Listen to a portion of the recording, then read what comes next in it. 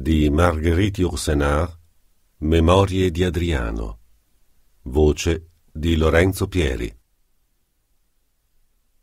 Al mio ritorno a Roma avevo ritrovato Lucio.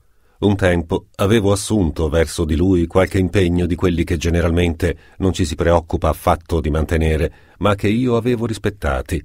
Del resto, non è affatto vero che gli avessi promesso la porpora imperiale, son cose che non si promettono ma per una quindicina d'anni avevo pagato i suoi debiti, soffocato i suoi scandali, risposto senza indugio alle sue lettere, che erano deliziose, ma che finivano sempre con qualche richiesta di danaro per lui o di avanzamento per i suoi favoriti.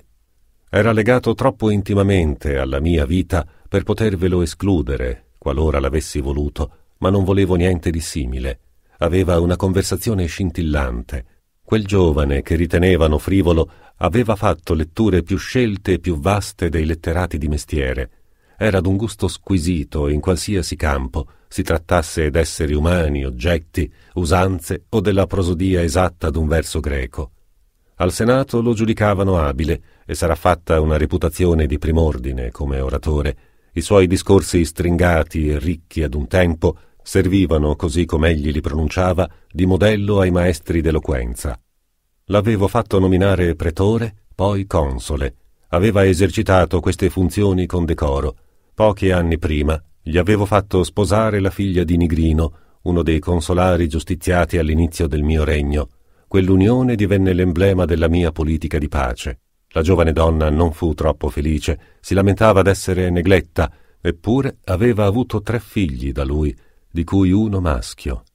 Alle sue lagnanze quasi continue egli rispondeva con cortesia glaciale che ci si sposa per la famiglia e non per sé, e che un contratto così grave non contempla i giochi spensierati dell'amore. Il suo modo di vivere esigeva delle amanti per farne mostra e facili schiave per la voluttà. Si estenuava nel piacere, ma così come un artista si sfibra per realizzare un capolavoro. Non sta a me rimproverarlo. Lo guardavo vivere. La mia opinione su di lui si modificava senza posa, il che accade solo per gli esseri che ci toccano da vicino. Gli altri ci contentiamo di giudicarli alla grossa e una volta per tutte. A volte mi turbavano in lui un'insolenza deliberata, una durezza, una frase scioccamente frivola. In genere mi lasciavo trascinare da quello spirito gaio e leggero. Un'osservazione tagliente pareva far presentire d'un tratto il futuro statista. Ne parlai a Marcio Turbo, il quale, dopo la sua faticosa giornata di prefetto del pretorio, veniva ogni sera a conversare con me degli avvenimenti del giorno e a disputare una partita ai dadi. Prendevamo in esame minuziosamente le probabilità che Lucio aveva di adempiere con decoro ai doveri imperiali. I miei amici si meravigliavano dei miei scrupoli. C'era chi, scrollando le spalle, mi consigliava di fare a mio modo, Quei tipi lì si immaginano che si lasci a qualcuno la metà del mondo come gli si lascerebbe una casa di campagna. La notte ci ripensavo. Lucio aveva appena trent'anni. Che cos'era Cesare a trent'anni se non un figlio di famiglia oberato di debiti, segnato a dito per gli scandali? Come durante i tristi giorni di Antiochia, prima della mia adozione da parte di Traiano, pensavo con una fitta al cuore che non c'è nulla tanto lento quanto la vera nascita d'un uomo, io stesso avevo passato i trent'anni all'epoca in cui la campagna di Pannonia m'aveva aperto gli occhi sulle responsabilità del potere. A volte Lucio mi sembrava più maturo di quel che non fossi io a quell'età. Mi risolsi bruscamente, in seguito ad una crisi d'asfissia più grave delle altre, che sopravvenne a rammentarmi che non avevo più tempo da perdere. Adottai Lucio, il quale prese il nome di Elio Cesare. Era ambizioso, ma con noncuranza. Era esigente senza essere avido. Da troppo tempo aveva l'abitudine di ottenere ogni cosa e accettò la mia decisione con disinvoltura. Commisi l'imprudenza di dire che quel principe biondo sarebbe stato radioso sotto la porpora e i malevoli si affrettarono a dichiarare che compensavo con un impero l'intimità voluttuosa d'un tempo. Significava non comprendere come funziona lo spirito d'un capo per poco che meriti il titolo e il posto. Se considerazioni del genere avessero avuto il loro peso, non sarebbe stato Lucio il solo sul quale avrei potuto far cadere la scelta. Mia moglie era morta in quei giorni nella sua residenza al Palatino, che ella continuava a preferire a Tivoli, dove abitava circondata da un'angusta corte di amici e parenti spagnoli, i soli che contavano per lei. A poco a poco erano cessati tra noi i riguardi, le convenienze, le fragili velleità d'intesa, lasciando a nudo l'antipatia, l'astio, il rancore e da parte sua l'odio. Negli ultimi tempi le feci visita. La malattia aveva inasprito ulteriormente il suo carattere acre e tetro. Quell'incontro le fornì l'occasione per recriminazioni violente che la sollevarono e alle quali ebbe l'indiscrezione di abbandonarsi davanti a testimoni. Disse che si rallegrava di morire senza figli. I miei figli mi avrebbero rassomigliato senza dubbio ed ella avrebbe provato per loro la stessa avversione che provava per me. Questa frase, nella quale fermenta tanto rancore, è la sola prova d'amore che ella m'abbia dato. La mia Sabina. Rievocavo i soli ricordi tollerabili che sempre sussistono d'un essere quando ci si prende la pena di cercarli. Rammentai una cesta di frutta che m'aveva inviata una volta, il giorno del mio anniversario, dopo una lite.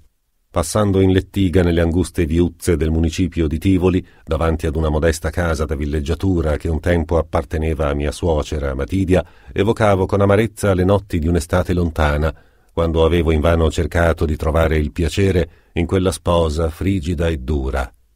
La morte di mia moglie mi turbò assai meno di quella della buona Retè, la direttrice della villa, rapita l'inverno medesimo da un attacco di febbri. Dato che il male che uccise l'imperatrice, mal diagnosticato dai medici, le procurò verso la fine atroci dolori viscerali, mi si accusò di beneficio e questa voce insensata trovò facilmente credito. Inutile dire che un delitto così superfluo non m'aveva tentato mai. Forse fu la morte di mia moglie che indusse Serviano a tentare il tutto per tutto.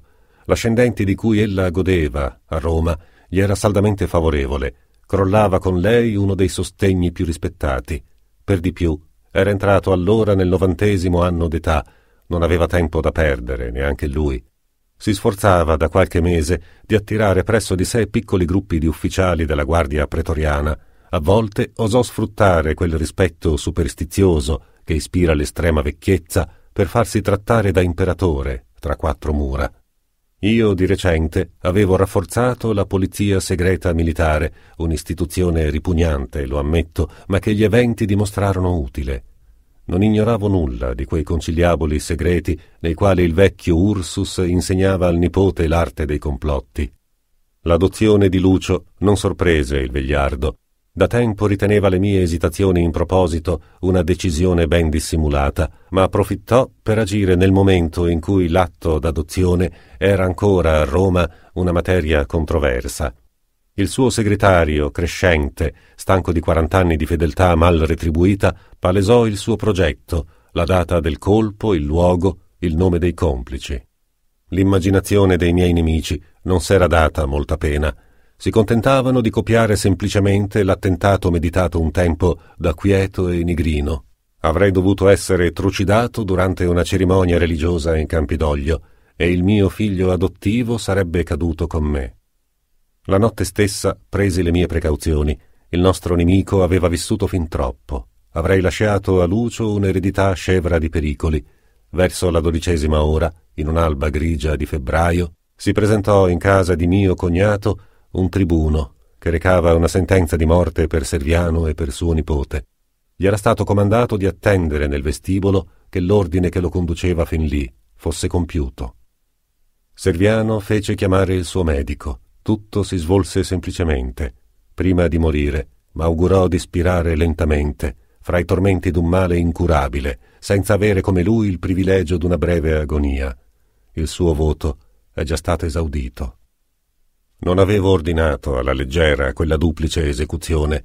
In seguito non ne provai alcun rimpianto e ancor meno rimorsi. Si saldava così un vecchio conto. Ecco tutto. La vecchiaia non m'è mai sembrata una scusante alla perfidia umana, anzi, son più disposto a considerarla una circostanza aggravante. La sentenza di Akiba e dei suoi accoliti m'aveva fatto esitare più a lungo. Vegliardo per vegliardo, preferivo ancora il fanatico al cospiratore. Quanto a Fusco, benché mediocre e totalmente alienatomi dal suo odioso avo, era pur sempre il nipote di Paolina, ma i legami del sangue sono molto deboli, che, che se ne dica, quando non c'è un affetto a rinsaldarli. Lo si può constatare presso i privati, durante le più banali questioni ereditarie. Mi impietosiva un poco di più l'età giovanile di Fusco, aveva diciott'anni appena, ma l'interesse di Stato esigeva quella soluzione che il vecchio Ursus s'era quasi preso il gusto di rendere inevitabile, e ormai ero troppo vicino alla mia morte per aver tempo di meditare su quella duplice fine.